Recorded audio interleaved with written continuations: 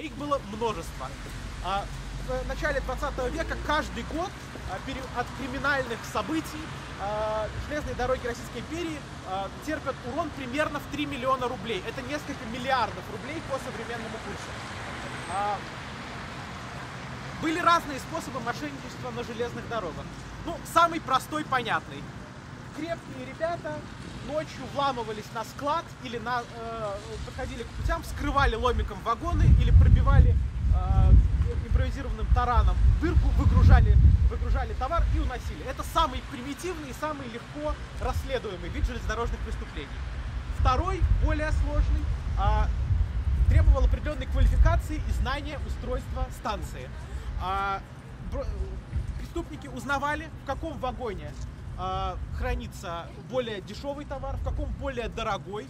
Э, переклеивали э, с переклеивали э, клейма отметки о перевозке, о формировании состава с дорогого на дешевый, вскрывали после переклейки погон с дешевым товаром, но никто, в общем, особенно это дело не расследовал. Ну, украли какую-то дешевку.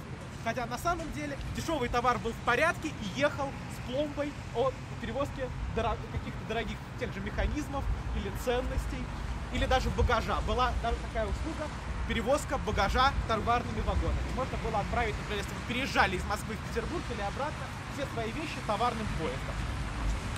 А, помните, дама сдавала в багаж, корзину, корзину, картонку. В общем-то, можно было и мебель сдать. А, наконец, а, еще одним распространенным способом было мошенничество а, высочайшей категории. Это когда товар вообще не отправлялся. Когда а, какой-нибудь купец на грани разорения, как правило, а, заключал а, договор с страховой компанией, с железными дорогами о том, что вот он отправляет нечто чрезвычайно ценное по железной дороге.